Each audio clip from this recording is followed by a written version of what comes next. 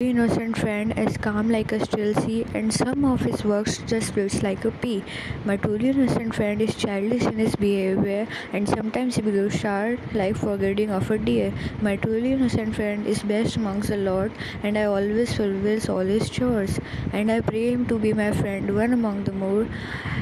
And oh my cute little friend, don't be sad for some, be giggling in this magical world and be happy I am done.